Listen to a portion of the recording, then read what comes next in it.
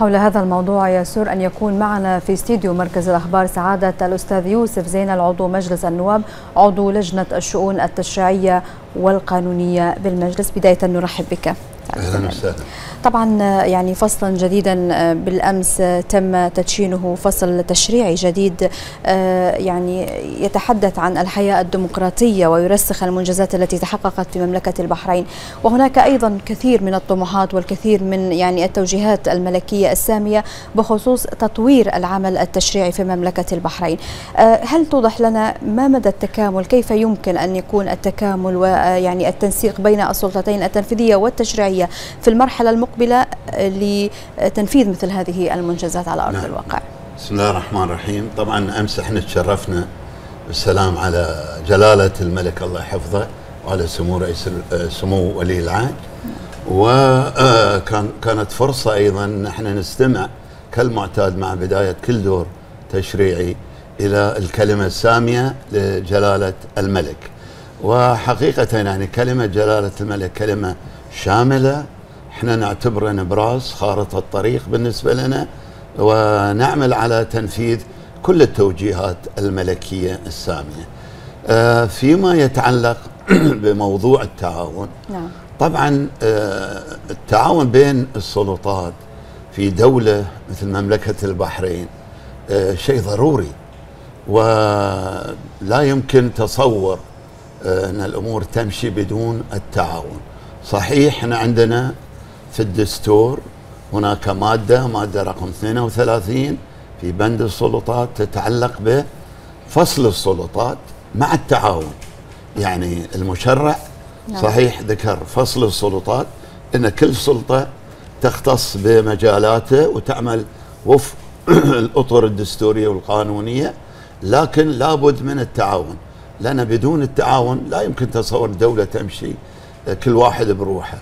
لابد أن يكون في يعني تناسق وجلالة الملك حفظه الله ورعاه أشاد في كلمته على ضرورة التنسيق قال والتعاون بين السلطات لمصلحة الوطن والمواطن فبالتالي إحنا إذا نبي نشوف في الواقع العملي من خلال مثلا دور التشريع نعم. الأول حقيقة يعني أنا ما أبي يعني أمدح في الحكومة لكن كان في هناك تعاون جلي وإحنا كسلطة تشريعية ورقابية كنا لما نطلب أي معلومات أو نطلب حضور الوزير كانوا يجون ويطرحون وجهة نظرهم يقدمون لنا كل المعلومات.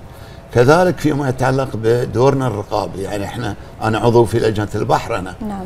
والبحرنه نطلب مثلا معلومات من الوزارات المعنية كل الوزارات تقريبا يمكن بعض الوزارات تأخرت شوي لكن التعاون كان موجود والتعاون كان جلي. في تقديم كل المستندات في تقديم كل المعلومات المطلوبة والحمد لله إحنا ماشيين ضمن برنامج عمل الحكومة. نعم. واصلا يعني إقرار برنامج عمل الحكومة إقرار الميزانية يدل على التعاون والتنسيق بين السلطتين. نعم. وهذا أمر جيد وإن شاء الله إحنا نقدر نستمر في هذا التعاون ونرتقي بالوطن. نعم سؤالي الأخير هو سعادة النائب اليوم هذه الأرضية موجودة وهذا التعاون والتنسيق بين السلطتين موجود بالفعل. ما هي يعني اليوم يعني نتكلم عن الرؤية المستقبلية اليوم ما هو أهم ما هي أهم القوانين التي سوف تطرح وسوف يناقشها المجلس الوطني اليوم تحت نعم. قبة البرلمان؟ هناك كثير من التشريعات القادمة. أنا بس أذكر منها القانون البحري. نعم. قانون البحري أنا أعتقد هذا مهم بالنسبة لنا لأن قانون البحري قديم. نعم. القانون السابق 76 والآن في تطورات كثيرة في عالم النقل في عالم المواصلات. وجلالة ملك الله يحفظه. أيضا أشاد بهذا الموضوع نحن الحين عندنا مطار في توسع المطار نعم. يتم افتتاحه قريبا. وهذه وأيضا جسر الملك حمد, حمد.